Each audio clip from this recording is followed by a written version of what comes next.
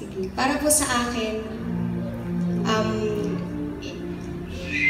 isa sa mga dati sumisimba lang parang dahil Pasko nga at pa- pagbibigay ng regalo, mga nakasanayan ng mga bata pa. Pero ngayon, ang Pasko ay isang mahalagang parte ng buhay dahil ito ay pagsilang ng Panginoong Jesus at isa sa mga bagay na dapat ipagdiwang.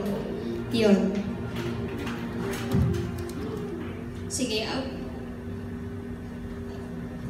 Sige. Tayo po ay magsitayo at umawit po tayo para sa Panginoon.